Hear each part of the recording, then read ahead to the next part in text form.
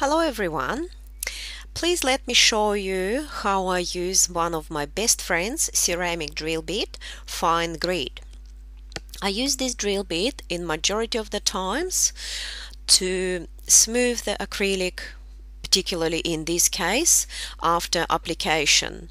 So I shape the nail with um, hand filing and then I take this fine drill bit and I smooth the surface as well as I blend cuticle area edge of this drill bit was dulled by me before my first use and by now this drill bit I have for several months. So I don't know how much longer it's gonna last but after several months it's going pre pretty strong.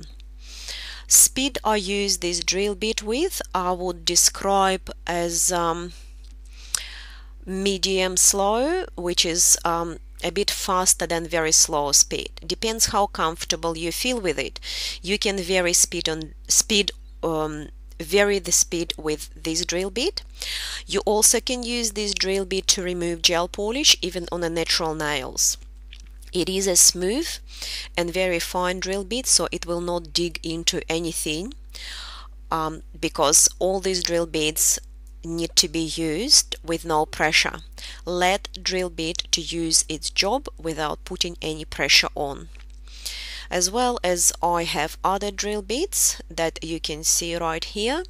You're more than welcome to ask me any questions. All this available on my Facebook business page, Olga 'n M. I will try my best to explain and recommend which drill bit um, would suit you probably the best. Thank you for watching and I hope I will talk to you soon.